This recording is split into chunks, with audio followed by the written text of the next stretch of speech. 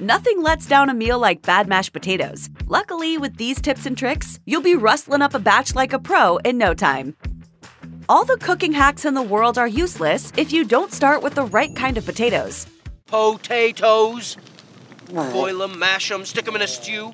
While you can technically boil and mash any kind of potato, only a few have the potential to transform into a fluffy bowl of mash. For potatoes with an airy, whipped consistency, choose varieties with a high starch content. Russet potatoes, with an average starch content of 21%, lend themselves especially well to mashing. All that starch expands during the boiling process, which, paired with the right mashing techniques, creates fluffy mashed potato perfection. Yukon Gold potatoes are another wonderful choice for mashed potatoes. While they contain less starch than russets, their thin skin and naturally buttery flavor give mashed potatoes a mouthwatering balance of creaminess and fluffiness. It's best to avoid using waxy potatoes like red potatoes and baby potatoes in your favorite mashed potato recipe, however. These types of tubers are watery with a lower starch content. When mashed, they become gluey, mushy, and unappealing. You might think salting after cooking is enough, but if you're not adding salt to your spuds right at the start of the process, your mashed potatoes will never reach their full potential. Salt draws out the natural sweetness of potatoes as they boil, intensifying their earthy goodness to prevent them from tasting bland or bitter. The potatoes absorb that salty, briny quality into every nook and cranny as they cook, so every bite of your mashed potatoes brims with savory, mouth-watering flavor. More mashed potatoes! It's nigh impossible to achieve this by salting after cooking, however. As a result, many home cooks overmix their mashed potatoes as they add more salt, a common pitfall that can cause the starchiest, fluffiest boiled potatoes to turn pasty. So next time you set a pot of potatoes on the stove to boil, get that water nice and salty first. Your taste buds will thank you. Electric mixers and beaters might be convenient, but they can often lead to mushy, goopy potatoes. Instead, stick with old fashioned hand mixing. Use a potato masher or strong fork to break up the boiled potatoes and smash out any lumps. This tried and true method takes a bit of elbow grease, especially if you want smooth and lump free potatoes, but the trade off is worth it. Whether you prefer ultra velvety mashed potatoes or enjoy a more rustic texture, manual mixing gives you the ultimate control. Remember, you can always mash potatoes more, but it's hard to walk back the gummy side effects of potatoes mashed with too much vigor. Along with giving you control over the consistency, manual mashing offers some serious flavor perks. Unlike high powered electric mixers, gentle hand mashing keeps the starches in the potatoes largely intact. The preserved starches lend a richer, more robust flavor to the final dish.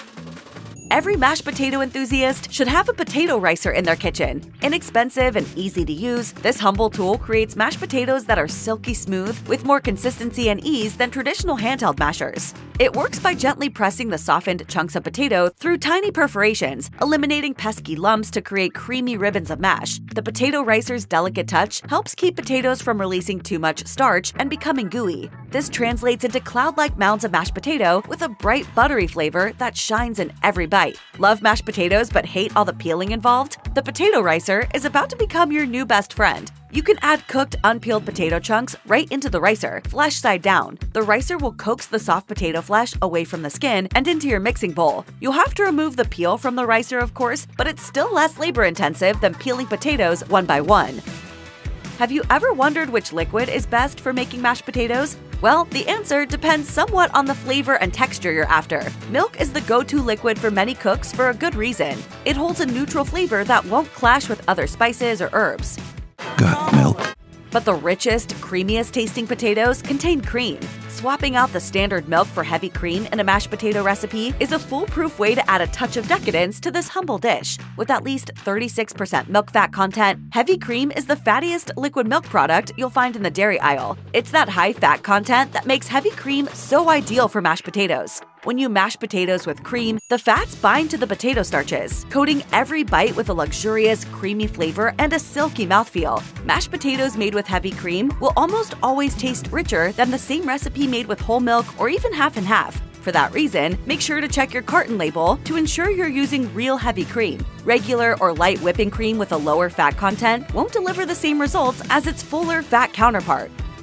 The secret to sky high clouds of mashed potatoes is tucked inside your baking cabinet. Baking powder, a leavening agent that gives lift to baked goods, can create the same effect in a bowl of mashed potatoes. Made from a combination of sodium bicarbonate, powdered starch, and acids, baking powder releases carbon dioxide gas when exposed to heat. The gas expands in the starchy mashed potatoes, giving them an otherwise unachievable airiness and fluffiness. Baking powder is particularly useful when you're making rich mashed potatoes with heavy cream, lots of butter, and other fatty mix-ins such as shredded cheese. While these ingredients add flavor and creaminess to a bowl of mash, they can also weigh down the potatoes. A teaspoon of baking powder balances out that extra weight so you get potatoes that look as fluffy as they taste. Work quickly to get the best effect from this cooking hack. The potatoes need to be steaming hot for the baking powder to work effectively.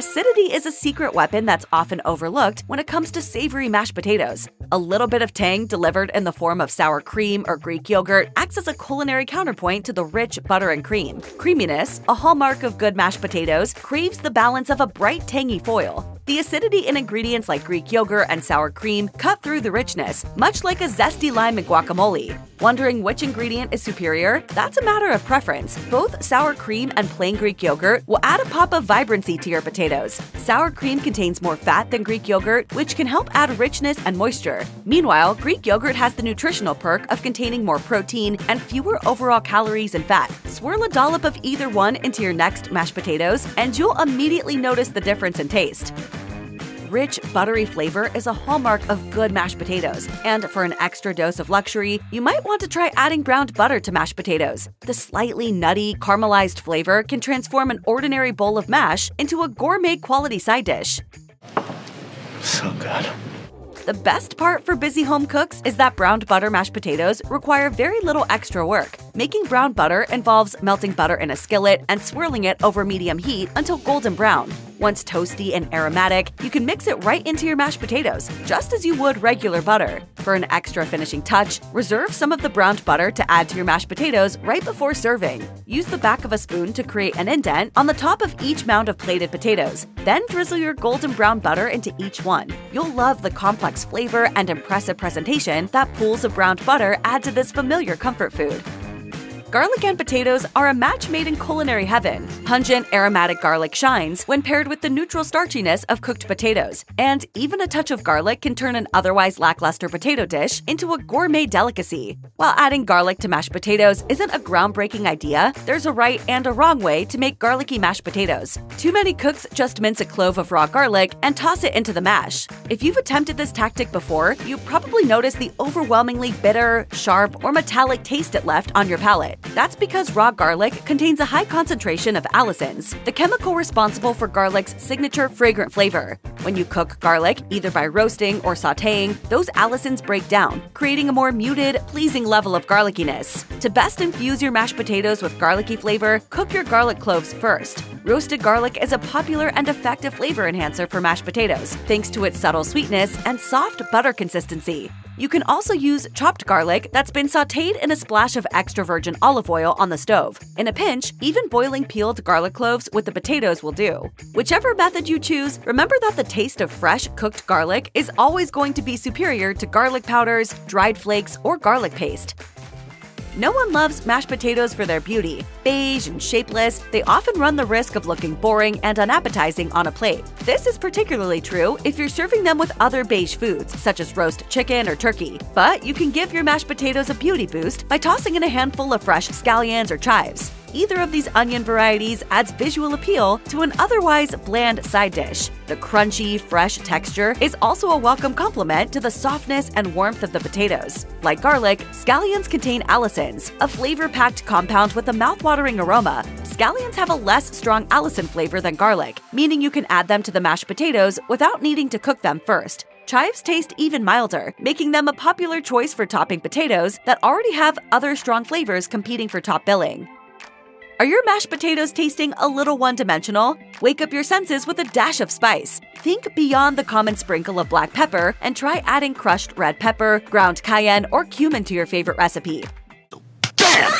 Because potatoes have a neutral flavor by default, they pair well with a wide variety of spice blends. That's one of many reasons that potatoes are a staple for such a diversity of global cuisines. For inspiration, use other spicy recipes as a guide for seasoning your spuds. For example, you can recreate the fragrant spiciness of Indian samosas by tossing cumin, coriander, and turmeric into your plain mashed potatoes. If it's Tex-Mex food you crave, sprinkle a tablespoon of your favorite homemade taco seasoning over your potatoes before digging in. To spice up your spuds without totally altering the flavor profile, a few small changes can go a long way. Try using freshly ground white or red peppercorns in place of the usual black, or add a whisper of paprika to the bowl for a subtle spice boost that won't overwhelm your taste buds. Fragrant, complex, and powerful, Vanilla's superpowers extend far beyond the dessert world. These tiny pods, harvested from dried vanilla beans, work wonders in savory dishes when used correctly. Mashed potatoes are a prime example of this. Vanilla delicately brings out the natural sweetness of potatoes without making them taste cloying or noticeably sugary. Vanilla beans, scraped from the pod and crushed, can be added right to mashed potatoes with no extra prep needed. Vanilla bean paste, a packaged form of pulverized vanilla beans, makes an equally good substitute. Vanilla extract can also be used to mash potatoes, but steer clear of imitation vanilla flavors, which taste muted and artificial by comparison. You only need a tiny bit of the crushed bean or paste to create mashed potatoes that stand out from the crowd. Start with a teaspoon, then taste a spoonful before adding more. You want the vanilla to enhance the creamy, buttery, and savory flavors of the potatoes, not dominate them.